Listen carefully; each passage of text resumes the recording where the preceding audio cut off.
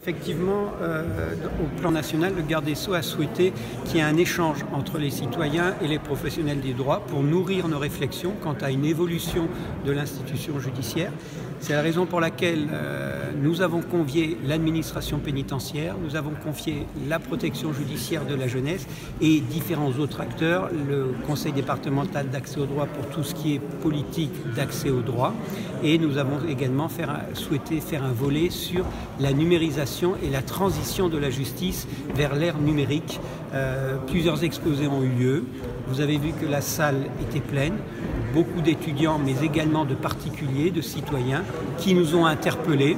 Le barreau, bien entendu, était présent et a également euh, participé au débat. Donc c'était une réflexion non plus entre professionnels, mais entre le public, justiciable, mais public également, qui a une idée sur l'évolution de l'institution judiciaire, comment doit évoluer la, la justice, s'ils en pensent, les critiques aussi, parce que c'est en critiquant qu'on avance.